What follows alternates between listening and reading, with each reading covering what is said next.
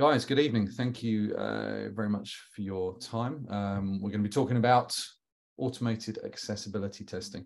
Um, this is really um, just a nice guide for uh, testers by means of a way to actually get get started with automated accessibility testing. Um, okay, so um, fundamentally, we're using uh, our Test Evolve product set with the AxeCore integration uh, that we have here. Um, okay, so we'll probably run for about 45 minutes or so. Um, the agenda, obviously, you'll be aware of that. There's some key things we're going to be talking about. Um, so we'll start looking at, uh, you know, what accessibility actually means to us. All right, you know, how we assess that, how we start to measure uh, levels of compliance against that. Okay, uh, we're going to be focusing on kind of web applications uh, today. Um, that leads us naturally into understanding a bit more about uh, these standards that we're probably starting to get familiar with. Okay, so we'll look at that from a kind of a regional and an international uh, basis and what it actually means to be compliant uh, against these standards. Um, and then, of course, the main bit, you know, how we actually start to uh, create automated accessibility uh, checks. All right. So in this case, we're going to be working with a uh, Ruby uh, framework, a Ruby version of uh, Test Evolve today. Um, we also support uh, JavaScript and TypeScript uh, as well. And of course, some of the things you uh, you'll see today as well with certain libraries will be available to you in, you know, in other languages as well, Java, for example.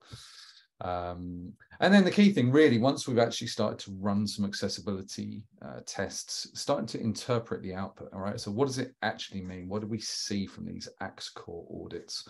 Um, and I think fundamentally, how, how do we apply some context to that? How do we start to um, communicate these to our uh, delivery team? You know, how do we um, categorize the severity of some of these issues that we find, and how do we get them fixed ultimately?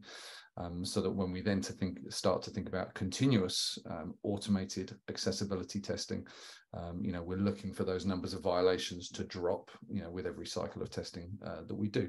So we'll focus on how, you know, we think we can uh, record good quality accessibility bugs for our developers as well.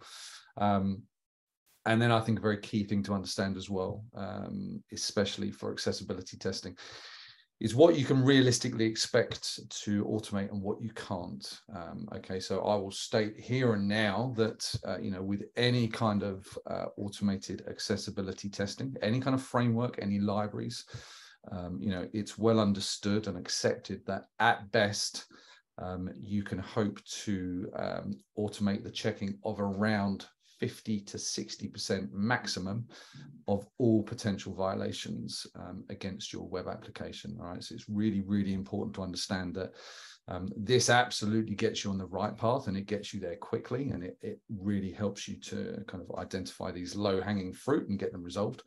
But you're still looking at 40, 50% potential manual effort uh, to, to do a real full accessibility sweep of your application as well.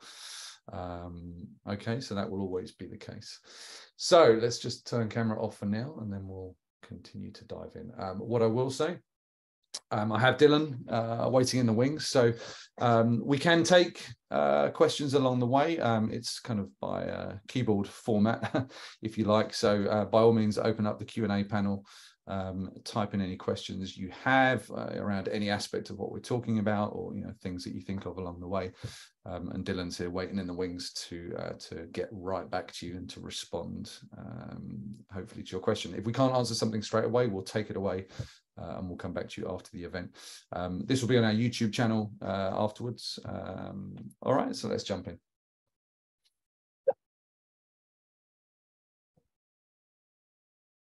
So let's start to talk about what accessibility actually is. Um, all right. So we're talking about web applications uh, today, right? We need to understand how it's assessed, how it's measured, but fundamentally, all right. Um, you know, statements from from Tim Berners-Lee here, right? The actual, you know, the founder of the internet, if you like. The power of the web is in its universality, right? It's got to be accessible by absolutely everybody, um, you know, regardless of any potential impairments, disabilities, all right? Um, it has to work for everybody. Okay, you know, irrespective of, of hardware, software, you know, uh, cognitive ability. Um, we are looking to, to meet this goal of accessibility, um, all right, and making accessible to people with a completely diverse range um, of abilities, right? There may be um, motor impairments, cognitive impairments, uh, okay, visual impairments, auditory impairments. Um, uh, from an application perspective, from an organization producing software, um, all right, this is just another perspective on a good quality application. All right. So if we're looking to develop high quality websites, you know, web tools, without excluding anybody from being able to use them, you know, we have to put accessibility up front and center. We've got to take it seriously. Um, okay. Um, I think we all know, you know, we accept that accessibility in the US has been, uh, you know, been around for a very, very long time. Um, and I think certainly in the maybe the last uh, five to 10 years uh, in, in, in the UK, uh, in Europe, um, it's becoming uh, much more of an important aspect in terms of software development as well. Okay, so this is fundamentally what we mean when we're talking about accessibility. Okay, making it available to everybody without, you know, without uh, distinguishing know, for particular impairments, disabilities. Critical aspiration for, for building software. We start to talk about this idea of standards. Um, okay, so standards is the term we typically apply. Um, now, technically, that's not not true across the board. Okay, some of these are actually laws, right? So, the things that uh, the the three that the majority of people will be aware of um, will be Section 508, uh, the ADA uh, and the WCAG. Okay, so two of those are very US uh, centric, right? So Section 508 and the ADA. Okay, um, and we'll look at the differences in in more detail in a second. Um, on the other side of the fence, on the other side of the Atlantic, if you like, um, we have things specific to the UK, right? So we have the Equality Act of 2010, um, and then across Europe, we have the European Accessibility Act as well. Um, and then a slightly different flavor of assessment, we have the, uh, the ACT rules. So this is the Accessibility Conformance Testing rules. Now, they all serve a bit of a different purpose, but they all work very well together. Um, what you find ultimately with most of these um, that they essentially point back towards the WCAG guidelines as really the single source of truth. All right, this this becomes our main reference point for, for each of these. Um, so let's let's take these in a bit more detail each one. So section 508. So this is actually a law. Okay, so it's a federal law. Um, so it's really focused around uh, federal employees or members of the public um, wishing to access uh, government information communications technology. Okay, so very much uh, government centric uh, within the US. Um, as opposed to the ADA, again, US centric, but this is actually a civil rights law as opposed to a federal law. Um, so the civil rights law, the ADA, is is requiring businesses, state and local governments, non-profits, um, are making accommodations for the disabled public to access the same services, uh, same level of service as any able-bodied patron, uh, of course. All right. Um, now let's talk about WCAG. So this is probably the one that people are most familiar with. Um, now this is different, right? This is not a law. Um, to some degree, it's a standard, but really what it is is a set of guidelines, best practice guidelines on how we can all build, develop, and test accessible web content. Um, all right, so they do typically present, um, represent a, a, more stringent level of checking uh, than, than Section 508 or ADA, um, and they are primarily focused uh, on uh, website, web app, HTML uh, accessibility. Okay. Now, there are a number of versions for WCAG. So um, this is the Web Content Accessibility Guidelines. Okay, so um, uh, version 2.0, okay, one of the more recent. Um, this came around in December 08. Um, it was superseded by 2.1 in June of 18. Um, so already this is kind of four, four to five years old. Okay. Um, and 2.2 is scheduled for uh, to be published in April uh, of this year. Okay, and version three is already in draft format. Um, now they are all backwards uh, compatible, which we'll talk about in a second. But if you uh, if you're interested in what's coming down the line in 2.2 or version 3, you can go on the w3.org website and, and see um, see what to expect. Um, so that's just a little bit about the differences. But ultimately, you'll find that if you're uh, if you're in the US and maybe um, uh, you know you're working in the government space and people are talking about Section 508, ultimately it's going to point back towards WCAG as, as its reference point. Um, all right. So we'll dig into that a bit more. So let's take section 508. We find it actually refers to um, WCAG 2.0 and the double A standard for conformance, right? So if you're not aware, um, WCAG and any version, uh, 2.0, 2.1, 2.2, version 3, um, they have three levels of compliance, right? So we talk about a single, a double, or a triple A uh, level of compliance. Um, I think by my observations, I think the majority of companies are striving for a double A uh, level of compliance. Triple A is, is, is very hard to meet, uh, I think. Um, so section 508 pointing towards version 2.0, right? So already, you know, that's that's an old standard. That's kind of uh, from 2008, I think we said. Um, the backwards compatibility comes into play in the fact that, well, if you if someone's referencing version 2.0, actually just step it up to 2.1. Um, and if you measure yourself against that standard, that's going to, you know, that's exactly where you need to be to, to be technically compliant with level 2.0. Um, if we take ADA, um, that's focused on WCAG 2.1, and again, the double A uh, level for conformance. All right. Um, and then we start to consider the ideas of penalties. All right. So this is what we hear a lot about from, from the US market, uh, you know, accessibility lawsuits, uh, you know, for good reason, of course. Um, the kind of amounts you're talking about for a first time violation potentially against section 508, you're looking for between 55 and 150,000 uh, US dollars for an infringement there. Um, and the ADA, not dissimilar, we're looking at 55 to 75,000 US dollars um, for, for violations that are recorded by the uh, by the public. Um, and if you have repeat violations, if you don't deal with these things when they're raised, of course, that that can escalate. Okay. Um, as we say, the WCAG, this is not um, uh, something for which you are going to be penalized for non-compliance. It is best practice recommendations, you know, and a, a, globally accepted set of kind of universal best practices for accessible web content, and hence why everything else tends to point towards it now. Um, I think the, the kind of the last statement rings true there. You know, if you're in doubt about which of these standards you should be aspiring towards, you know, try and meet the latest iteration of WCAG. Currently 2.1, as we said, 2.2 from April of this year, and AA would certainly be a good place to uh, to start.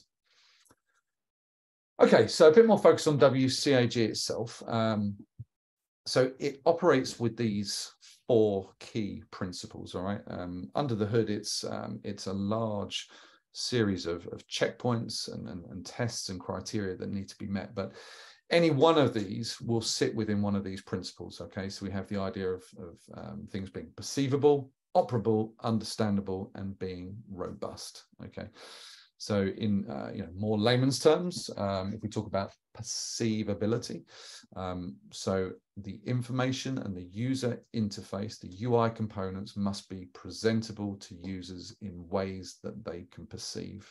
Um, all right. So users must be able to perceive the information being presented. It can't be invisible to all of their senses. All right. So that's what we're talking about in terms of being perceivable. Um, operable is going to focus on the ability to actually drive uh, the application to navigate the site to use the UI. All right. The users must be able to operate the interface.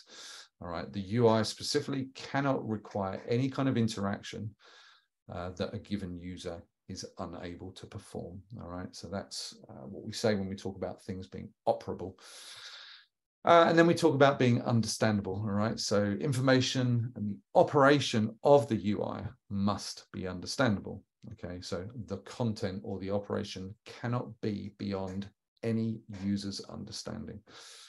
Um, all right, so these aren't always the easiest things to, to get your head around, but I think they start to introduce us to some of these concepts.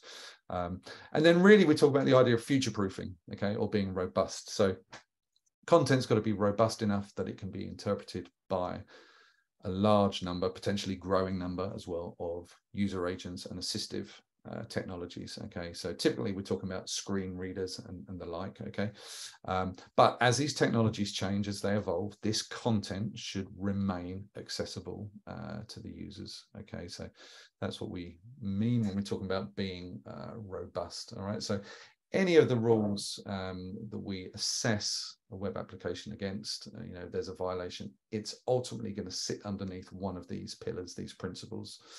Um, and I think we can start to understand for good reason why these are things of importance to all users. Um, right, let's just talk briefly about you know what we can and can't expect um, to automate. So really, I think most importantly on the things that are going to require manual um, intervention. Okay, so focusing on uh, the generating, the handling of uh, application errors. Okay, so when we record an automated test, we're not always going to see all of those errors and understand um, how accessible they are, how understandable, how perceivable they are. Um, so this is something typically we need to look at on a manual basis.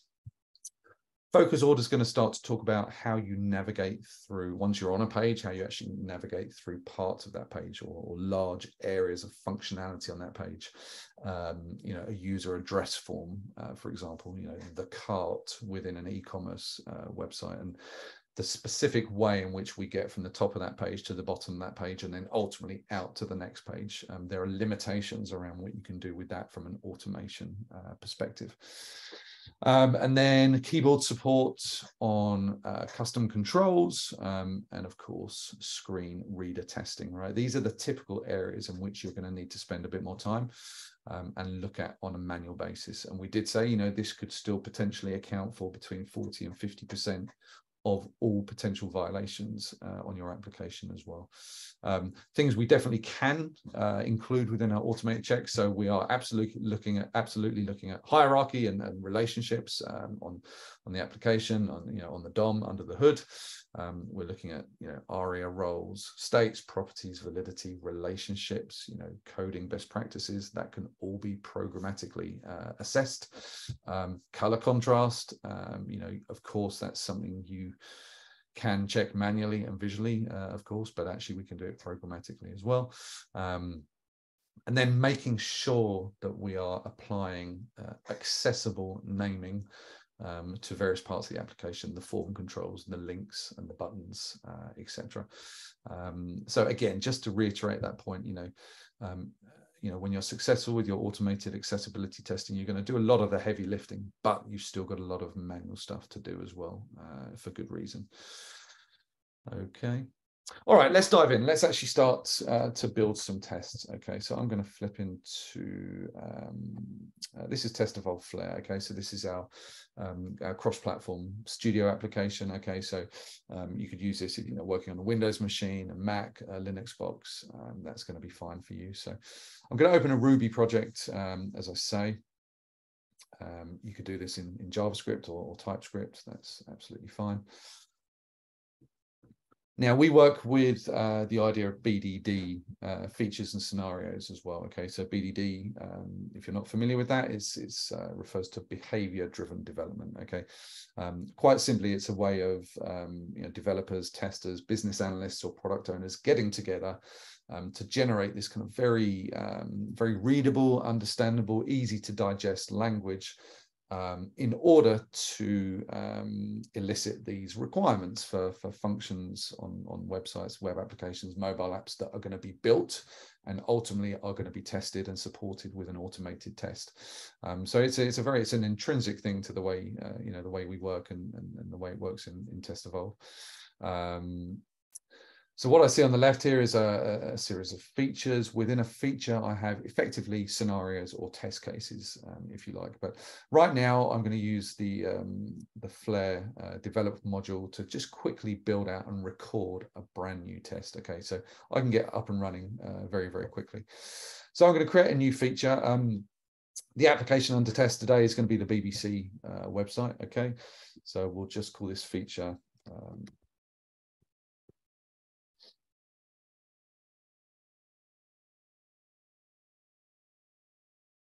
Okay, I'm spelling okay. Yep, accessibility test of the BBC website. So I tick that, I create my feature. It's going to give me the option now to um, create a scenario.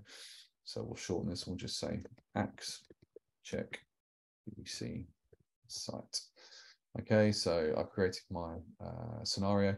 Um, we like to use nice, short and concise given when then statements. Good practice BDD says you focus more on the the user journey itself and the outcome rather than the specifics of the UI. You know, so we don't we don't want to have steps in here that say, you know, when I click on such and such a button, when I click on a drop down list or I pick a value, we want to focus on the you know the end result of the user. So in this situation, I'm simply going to say, um, given I go to the BBC website, uh, I'm then going to add a then step. So a then is usually my outcome or my assertion, the things that I'm looking to achieve. Then I can execute multiple accessibility checks. All right, so I really only need two steps. Um, okay, so um, I, now I need to record my uh, my test itself. So I'm going to click here. I'm going to bin recording. Um, it's going to open a, a, browser within for me. Um, all right, so the first thing I'm going to need to do, I'll uh, switch on my kind of record toggle. And then I'm just going to go to www.bbc.co.uk. All right, so the recorder is going to capture everything that I do. Um, first thing I'm going to do is actually load this page. Um, okay. Uh, now that's the only thing I need to do in my given step. Everything else is going to be represented in my then step. So in terms of uh, traversing the application and making these accessibility checks, I'm going to encompass all of that within my uh, my then step. Okay. Um, what the recorder will do, you know, if you've got, if you're familiar with um, Selenium, uh, particular, um, the recorder is going to allow you to kind of respect and maintain the integrity of what we call the page object model as well. So, quite simply, that says for any um, any page within the application uh, under test, in this case the BBC website, I should have a representative page uh, within my automation project. Um, okay, so it allows me to kind of respect that and maintain that. So I'm on a uh, I'm on the home page now. Okay, so if I already had that home page um, created in my automation project, I could select it from this list. Um, I'm new page. Okay, so we'll simply call this um, BBC homepage. All right, it's going to name all my classes, my methods, my file names. It's going to do that for me. So I create that page. Um, and then I am going to implement my first accessibility check. So uh, I simply right click in the application. Now we've got two different types of checks we can make here. We've got page level checks and we've got element level checks. All right. So element level checks are typically more for functional tests. So if I'm looking to make sure that a button exists or it's present, um, actually, what I want to do is run an audit check. So we've got two types of page checks, visual checks, audit checks. Um, visual checks, a completely different subject, another webinar about you know responsiveness, look and feel. Um, our audit checks allow us to assess an application either with Google Lighthouse or with Axe Core, which is what we're focusing on today. So I simply add my audit check, um, and I'm going to apply a label. All right. So really, the purpose of the labels is for me to state where this check is being undertaken. Okay. So I'm just going to add, um, let's make that BBC homepage. Let's type that again. There we go. Let's add that check. Good. And you can see on the left-hand side here, it's starting to capture these checks uh, as I move through. All right. So all I'm going to do now, I'm going to navigate through different pages of the website. So I'm going to click on the, uh, the news page. Um, right, it's a new page. It's going to prompt me to create a new page in my automation project, uh, which I will do. I'll call this BBC News. Uh, and then I'm going to right click and I'm going to apply an audit check. And I'm just going to say BBC News page, right? So simple as this, traversing the application, adding these checks. And you'll see each one I do is adding it to the left-hand side there. Um, okay. Uh, and then we'll move on to, we'll go through a few of these. We'll go into sport. So let's create a BBC sports page create page, and then I'm going to right click. I'm going to add my audit check. Cool, add check, and then we'll move on to weather and finally iPlayer. Um, good. So another new page here. Let's click new page. BBC weather. Let's add an audit check here.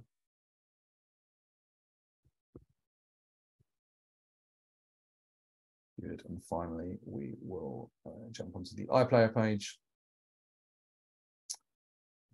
And we'll identify that. Create the page, and then we'll add our audit check. Okay. And really, this is no different. You know, if we were on the Amazon website or an e-commerce website, for example, um, you know, you're going to build up a flow like this that traverses the application.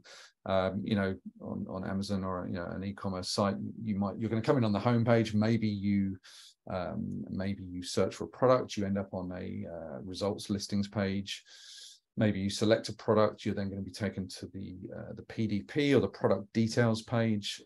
Um, maybe you add that to cart at that stage. You then get to do a uh, an audit check against the cart itself, uh, and then you probably progress to check out something like that. Maybe it's then going to ask you to sign in if you're a guest user, and you can run an accessibility check there. So the process is is no different at all. Um, all right. So this journey is this is as far as I want to take this particular journey. So I stop my recording. Um, I'll come here, I can uh, close my browser.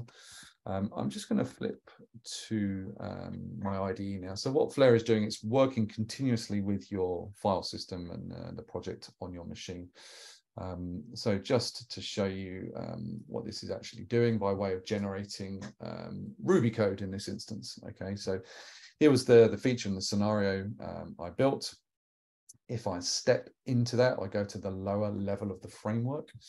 Um, all right, we can um, see this is what we call the step definition layer. Okay, so uh, the Ruby code that's been uh, recorded to actually load the website is this. We in, we instruct Test Evolve to open the browser and to go to this particular website. Um, and then you can see here when we talk about a single line of code to actually run an accessibility check, it's testevolve.audit and then the label uh, that we use. Uh, okay. Um, you saw me navigating through a variety of different pages and then making these checks as we go. Um, I was creating pages on the fly, so BBC homepage, BBC News, BBC Sports page.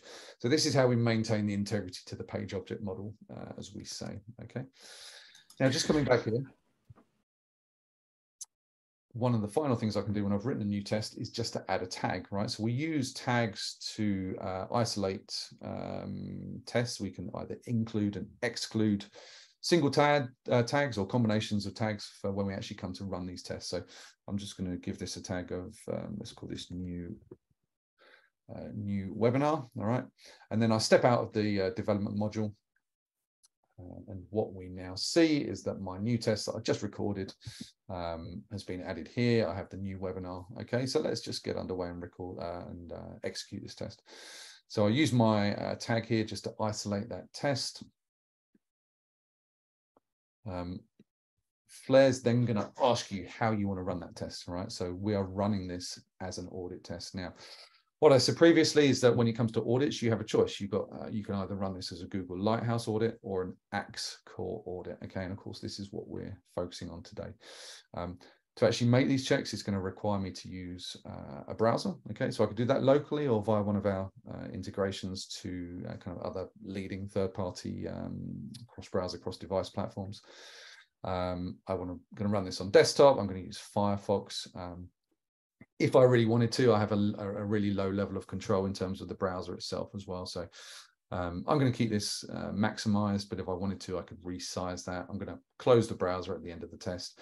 Um, I'm only running a single test, so clearing cookies and, and using the same browser of, of, no real consequence to me now. Um, but I do have the ability to kind of manage uh, Selenium-based timeouts uh, here as well even you know potentially specifying certain ver versions of, of, Gecko driver in order to work with with Firefox and, and, Selenium. But that's all fine as it is, so I'll leave that for now. Um, and then I click next. And the final thing I need to do is just specify the types of output or reporting uh, that I'm looking to see. Okay, um, so two things I'm interested in right now. We'll see a, a local test run report. Um, and then what I really want to do is actually push the results of this accessibility test uh, to our real-time uh, cloud dashboards as well. Okay, so uh, by selecting dashboard, it's going to allow me to do that. Um, the test itself, I'm going to give a label, which is Axe Webinars. Again, it's just to give the uh, the test a kind of a sense of purpose or meaning, so that we we then find that we identify that in Test Evolve Halo. Um, uh, we can find exactly what we need straight away. I've got my API key. I'm good to go. It's a local environment, single threaded test. I don't need to change that. So I'm just going to run that now. First thing we see is the, uh, the open console. Um, you'll see that this is going to uh, spin up Firefox. All right, it's going to load up the BBC website as we saw. Uh, it's going to run a check on this homepage. There'll be a momentary pause while it does that. It's then going to go to news. It's going to do the same thing. I think depending on the page, I think some of these may be quicker than others. Um, but here we go. So it's going to step through. And then it will do weather and iPlayer. And then we'll look at what it tells us.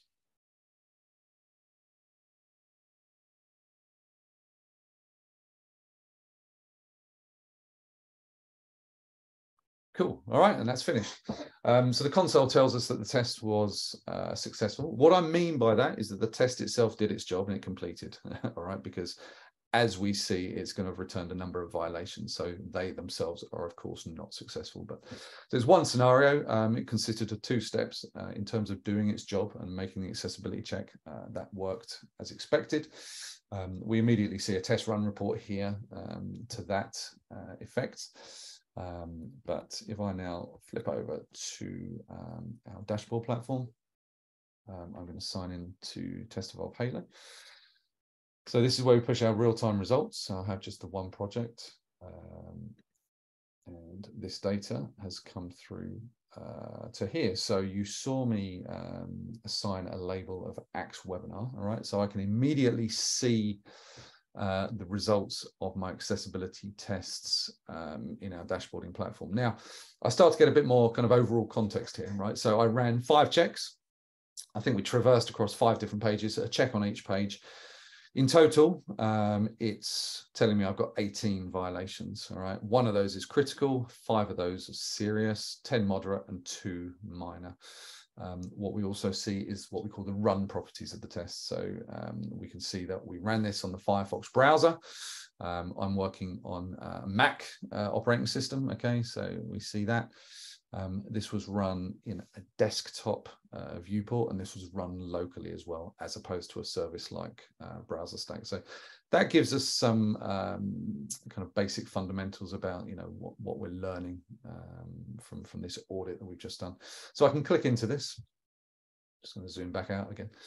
Um, and what we start to see now is this much lower level of detail. Okay, so we'll talk about continuous accessibility testing um, uh, kind of towards the end. But as you start to run more of these scans, right, we're going to build up a history of these runs. And ultimately, you're going to start to see a run trend. So if you're doing this, uh, you know, even once a week, once a day, you know, you're going to start to see that trend of, um, of whether your violations are hopefully should be going down. You know, as you raise bugs and you, uh, you, you know, developers fix these accessibility issues, you're looking for these run trends to start going down. Um, of course, uh, Deque systems, Axe core themselves, there will always be updated rule sets that things are assessed against, that, uh, you know, measures of uh, that we're trying to comply with. Um, so you may see a time when things creep up, but ultimately you should be looking for a, a downward trajectory. Um, right, now what we start to see, let's dig into this a little bit more. So from an accessibility point of view, um, Test Evolve has deemed this to be a failure. Okay, now what that means is there have been one or more accessibility violations, right? And we've already seen that on the summary level on the card before.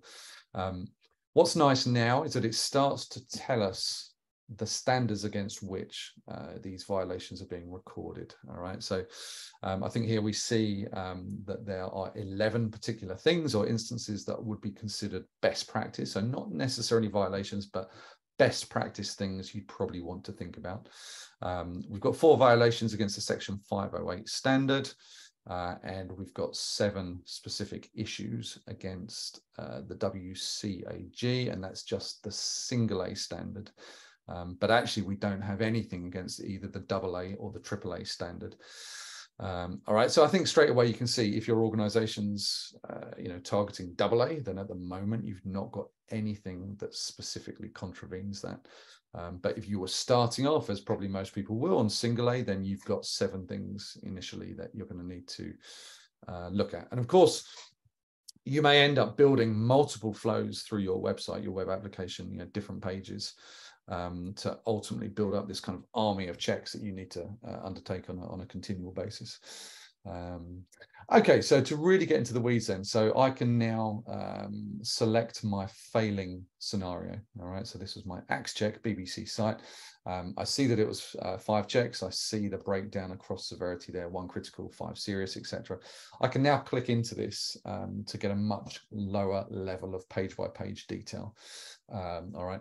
What's really nice about this kind of reporting is you still have full traceability, transparency to your, your source requirements or your BDD scenarios, right? So that permeates through everything that we do. Um, all right, so I can see my feature, the accessibility test of the BBC website. It's got my scenario name. Clearly, that's marked as a failure. Um, if I want to raise a bug from here directly to Jira, uh, I can do that with our Jira integration here. Um, but really, what I, I, want to start understanding now is um, the page by page uh, violations. Okay, so here are the five checks uh, that we made. Um, we can see that on the home page, actually, there were no critical, no serious. There's just one moderate. Um, let's let's pick on the weather page, uh, for example. All right, so I can now expand that. It's going to give me the breakdown and the detail of this one serious, these three moderate issues that have been recorded specifically against that BBC weather uh, page. Okay. So what we start to see here, right? We see the severities of the issues. Okay, so I can target the, uh, you know, the serious potential issue there. Um, let's just zoom in a little bit there. This here is what we call a particular rule set. Okay, so this is a moderate issue against the uh, the heading order rule set. Um, there are different types of rules, of course. Um, what we have here is a link out to the uh, Deque University. Um, and then we start to understand over here a little bit about the specific element um, or the UI component, if you like, in the DOM on the page against where this violation uh, has been recorded. Um, and then finally, um, we have some instructions on how these things can be uh, resolved. Okay, so I'm just going to cut back to my slides uh, for one second. So we've built our test, we've run our test, we've now got some results. So here's just a kind of summary overview of, of what this information is going to mean to you. Okay, so user impact, right? That's critical that we understand that. I think when we start to raise bugs with developers, I think we have to frame it in terms of what the impact is to the user. Um, you know, clearly you're going to want to pick off your critical and your serious issues uh, first of all. Um, I think our job as testers here right now is to provide as much meaningful information to the development team as we possibly can, um, including some of the links to some of the documentation I'm going to show you in a second. Um, but ultimately, we've got to pick up on a particular element on a particular page, and, and something about that has to be fixed in order for this violation to go away the next time that we we make that assessment. If you follow out one of these uh, links to the Axe guide or the Deque University, uh, in fact, let's just do that now. Um, for a particular issue, you're going to see the lowest level of possible information you can. All right, so um, this is for an example I was looking at earlier. So we see uh, a particular type uh, of violation or description of this violation. Uh, okay, just underneath that, we have the specific rule ID. Um, we have reference to a rule set. So this is the most up-to-date uh, rule set from, uh, from Deque Systems that Axe core is using right now, 4.6. Um, very important to understand that these are kind of routinely updated and will bring more compliance checks into play. Um, so, you know, we always stay in line with that, making sure that people are assessing, you know, with the latest rule set and they're not seeing, uh, you know, false positives or, or vice versa. Um, and then we see uh, the severity, so critical in this particular example. And then I think we start to get the context of the standards that are being violated for that particular uh, issue. Okay, so there'll be a real uh, level of detail around how that specific thing uh, needs to be fixed.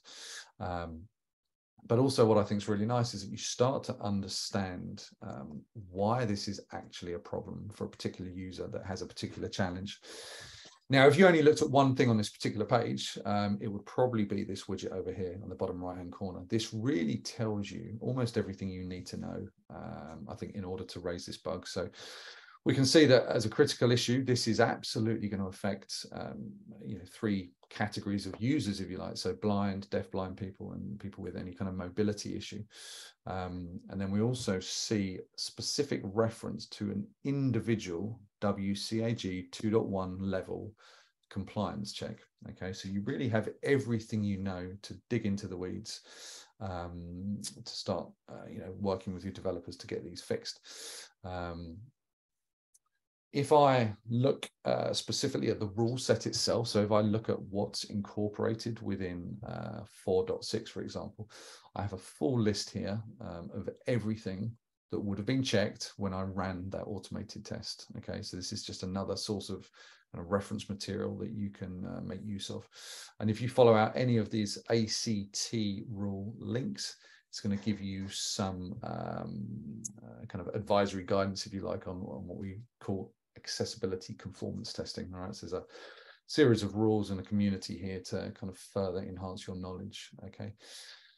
Another thing, finally, we have to um, start understanding where this is specifically in the application. All right. So what we are seeing um, within the Halo report itself, uh, you know, was particular aspects in the DOM. So if we were, um, you know, if we wanted to look at a critical issue first of all, um, you can copy that information across um, in your browser, fire up the same page of your application, um, open up your dev tools from within the browser, um, click into the uh, the elements tab, and then run a search for that particular element.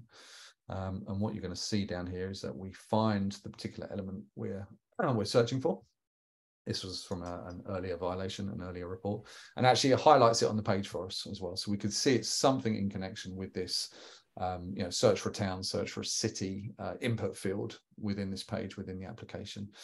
Um, all right, so I think we grab a screen uh, a screenshot of that, and then we consider now about how we start to raise these as bugs um, with the development team. Okay, so let's just jump forward. So really, you're you're taking bits and pieces from the, all of this source material. Um, all right, and that's going to give you everything you know, everything you need to know to then raise a, you know, a Jira bug in this instance, for example. So I think there's two things you can do here. Okay, what I've done is take a very generic kind of stock Jira ticket, if you like, uh, not custom ticket by any means, and I've I've brought all of this information together, uh, the lowest level of information I have, essentially within the description field. Um, of course, another option might be um, when you start to get into this, you might want to work with your Jira admins to build out a custom workflow for accessibility violations, right? So you can pick and choose the fields that you'd want to add to that Jira ticket type. Um, you know, of course, you could align the severities uh, with the WCAG severities uh, as opposed to your normal kind of Jira ticket workflow that you may already currently have. So you've got a couple of options there. But really, our job as testers is to get as much meaningful information into this ticket. And I think you, you can see that everything's really there. So I think we start with a summary that says this is an accessibility uh, violation. It's a critical. Um, it's on a specific page, the weather page of our application. Um, and here's the specific issue, right, of the description. It's that required ARIA attributes must always be provided. All right, so we talk about the weather page, the severity, the specific rule ID. We can talk about the standards, so it gives it some context to anyone that's going to work on this. Uh, they understand that this is in violation of the single A standard for WCAG 2.1, right? This is a must. We have to fix this. Um, we list the element itself, so our front end dev can go away and uh, you know target that element uh, within the application. Um, and then we talk a little bit about the, uh, the, the, types of users that are affected by this, again, to inject some context. Um, and quite simply, steps to reproduce. Yep, I just got to run an Axe audit on that particular page and I'm going to see the same issue. Okay. As a tester um, with a um, kind of organizational aspiration for accessibility uh, compliance, well, what's my expected result? Well, quite simply, I don't want to see any single A um, violations against the 2.1 standard on any page of our application okay? Um, and then i think where it comes really useful is to uh, take that um, why it matters section from the deque university and you can use that to uh, populate your defect impact. I think uh, you can see at the bottom there we've uh, we've added the screenshot, so it gives it all the context, all of the information it needs to then be able to raise a real good quality accessibility bug uh, for your de developers to uh, to take away and start working on. Um, okay. So I mentioned um, starting to think about continuous accessibility testing. So I think what, uh, firstly, you know, uh, for a company, an organization that's done no accessibility testing until now, until this point, just getting started is a good thing, right? But equally, we don't want it to become a, a one-off thing, um, you know, or even just a few times a year. There's no reason why this shouldn't be a continual kind of quality assurance exercise, like everything else we do in a kind of agile way of working. Um, so let's get in the you know in the realms of thinking about continuous testing, including accessibility testing. Uh, all right. Every time we take a build of code um, to a new environment, you know whether it's a QA, a UAT environment, a performance environment, you know why shouldn't we run a, a, subset of these accessibility tests against the application right? Continual feedback fastest feedback from from testers to developers with all manner of different types of issues functional issues performance issues accessibility issues you know security issues. This is just another quality perspective that we should put up front and center uh, and really give it the, the focus that it deserves. Now, there's really a couple of ways you can do this. Um, okay, what you've kind of seen me do today um, is really the idea of building uh, a dedicated automated test um, that is going to take a kind of a screen by screen approach. Okay, it's going to traverse the application in a particular way. Um, now, maybe you can do that with a single flow. You know, I'd be surprised if you couldn't do that with, you know, between four and six workflows, you know, to maybe cover the entirety of your application. Um, okay, so that's one option. Uh, the second option, um, if you know, if you've already um, you've already had a productive testing team that maybe you know you've got a, a set of 500 or 1,000 functional regression tests that are already running um, in your kind of CI/CD pipeline. Um, actually, what you can do is inject that single line of code to run that audit check um, in specific tests that you know are traversing certain parts of the application, certain pages. Um, and then you could simply execute those tests as a subset by selecting them with the use of tags, like we saw earlier on. Um, now, there are pros and cons to each. Now, what I will say, the first approach I kind of took here, um, ultimately, if you create a, a, new and a dedicated suite of tests, you're probably going to end up with a much smaller set of tests to do this because it's a smaller set of tests. Your specific accessibility testing pipeline is going to run a lot quicker, right? It's going to be faster.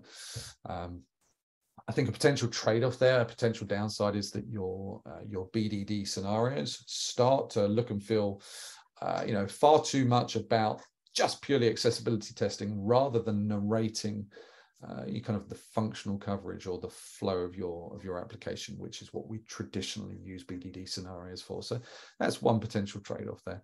Um, what I will say, you know, when you do build out dedicated accessibility tests, so where you're just, as, as we did uh, in this example, right? If I'm just keeping my test relatively simple, but just navigating from one screen to the next and then actually running an accessibility test, if that's all it's doing, um, there's far less risk of that test kind of failing functionally for another reason and then essentially stopping my accessibility audit in its tracks. All right. So that's definitely one of the benefits of having isolated and dedicated accessibility tests. They'll be far simpler. They'll have one simple thing that they need to do, um, and there'll be less risk of them falling over for any other functional reason. So that's a, a definite benefit as far as I see it.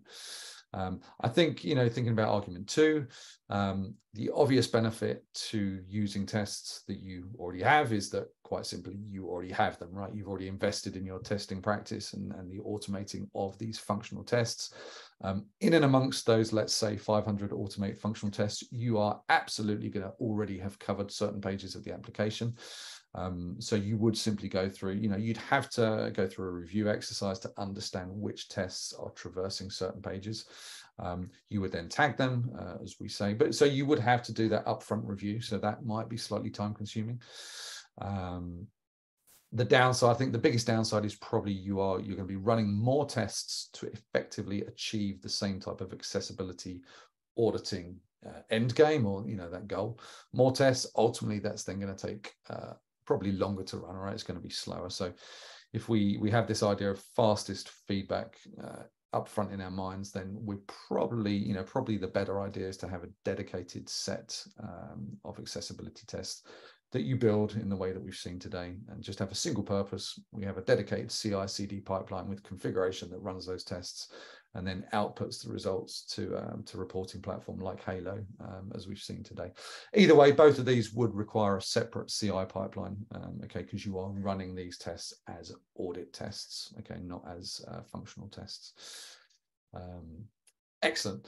I think finally, I just wanted to close with um, what I find to be, a, you know, an absolutely excellent example um, of a compliance statement. All right, because ultimately, um, I think a statement of compliance is still really in the realms of, of self-certification. Um, okay, so as an organization, you can make a statement of compliance for your application to a certain standard, or certainly you can make your intentions clear. And I think this one here, so this is from the RNIB. Okay, this is a, um, UK organization, right? registered charity. This is the Royal National Institute of Blind People. Um, you'll find this on their website. Okay. Uh, and I think it covers so much ground, right? So it talks about um, bottom left there, you know, aspirations of uh, compliance, particular standards. So talking about the WCAG 2.1. Uh, it also makes reference to the uh, Equality Act. This is the UK Equality Act of 2010 uh, and the EU initiative uh, that we mentioned earlier. Okay, so it mentions all three of the standards relevant to a UK organisation. Um, and then it tells you a little bit about how things are being tested, right? So it says here, kind of the, the second graphic there. So um, we try and work with a wide range of technologies. We can't, again, I think it's fair to say, we can't commit to testing every single browser version, every version of assist, uh, assistive technology, uh, and nor every operating system. So, uh, you know, I think full disclosure for, for, from these guys on how they do that testing, or every mobile handset type. So I think that's a really important statement to have uh, in this kind of um, compliance statement. All right, technology we're using. All right, so they've got some manual tools in here. So they're working with uh, with with JAWS, with NVDA. They're working with um, screen readers. Uh, they're employing. So this will be one of your um, manual checks, for example, at the bottom there, um, keyboard and navigation only. Right, so the ability to fully navigate the entire um, application, what pure use of keyboard, no mouse control. Um, that's a specific uh, one of those checks, right? Magnification factors, you know, visual checks there. So a little bit about technology they're using and how they actually undertake uh, this testing. Um, and then I think uh, the other key things really, so uh, third-party functionality and services. Um, again, a clear statement. In some places on our site, we depend on third parties for certain functions, of course, standard um, and services we can't perform ourselves. Wherever possible, we work with these third parties. Um, and they even talk there about uh, achieving conformance with AA standard to 2.1. So actually working in partnership with your suppliers to share with your suppliers these aspirations of accessibility compliance. So I think that's a really important thing to note there. Um, and I think maybe just talk about a little bit about the kind of uh, the improvement. So things where they they concede as an organization, we're striving to do better in these particular areas. You know, we're not there yet. We will get there, but we're not there yet. So um, improvements they're looking to make. So uh, making these audits a more regular thing, right? So certainly when you look at this CI, this continuous integration, continuous development, continuous testing, including accessibility testing, as we've seen, you're going to go a long way to kind of realizing uh, that goal. Okay. Um, speaking with customers, incorporating their feedback. So always, always working with real users. And again, clearly this is very much in the manual testing camp part of this, um, but that's actually uh, absolutely critical to kind of holistic accessibility uh, success there. Um, and then as an organization, obviously they're trying to keep up to date with the latest practices, best practices, the evolving standards. Uh, all right, so all of us, all, all of us, that's going to involve, um, you know, getting familiar with uh, the 2.2 version of the WCAG standard, which, as we said, is going to come out in uh, in April. Um, all right, and then I think finally full disclosure on some of these issues that are outstanding, right? So it's it's the right thing to do to uh, publicize uh, information on things that could be a challenge to certain users. So they've got issues with 400% magnification, uh, affecting the visibility of certain content. Uh, but actually what they give you there, which is nice, is a, a resolution for that. So it can be overcome by using uh, the arrow keys, right? So actually navigating the application that way. Um, and then there are issues with error validation, which can affect error message announcement on page refresh. So probably something that's affecting the, uh, the screen reader there. But perhaps most importantly, there is the ability on their site for any of their users to actually register an issue, actually to report something, to flag something up to them, um, knowing full well that they will get that prioritized. It'll be on their backlog and they'll look to fix that. Um, so I think aspirationally, you know, if you're looking to make a statement of compliance to a certain level of, of standards, uh, conformance to that, uh, accessibility compliance, this is a really nice way of starting to think about how to present that. Um, Good. All right. Um, I'm, I'm going to wrap up, but listen, thank you so much for your time. Um, I hope that we have covered off all of these topics that we said we would. So I think we've, you know, we've talked a lot about what accessibility actually is and what the standards are, you know, bearing in mind that some of these are standards and best practices, some of these are actual laws, certainly in the US. We talk about Section 508, the ADA. Uh, other things are best practice, but I think we could see how ultimately everything does point back to the WCAG as that single source of truth. And I think that will only become more and more pronounced as, as time goes on. Um, all right. And then we saw how quick and easy it can be to build out a brand new automated accessibility check um, in, in a tool like TestEvolve. There are many other tools, of course. Um, you know, uh, in particular, we're working from a Ruby point of view. We're working with the Axe core gem, you know, Ruby gem. Um, if we're doing this in JavaScript, we work with a certain node library, uh, for example. So these are all things that are uh, available to anyone putting together an automation uh, framework. Okay, and then we looked a lot about how to actually interpret these results. Now, what I will say, I don't think it's not necessarily a realistic expectation to say that um, all of our testers you know within our organizations need to become accessibility experts right? That will be a byproduct of this uh, ultimately. Um, but that's not the end goal here. The end goal is to record these issues quickly accurately and to get that to the development team to get them fixed okay? You know um, the happy offshoot of that is that your team will become more and more familiar. Um, you know they will become more and more proactive with spotting these accessibility um, issues uh, and almost becoming kind of subject matter experts there. So you know that's a real you know a real good offshoot from that.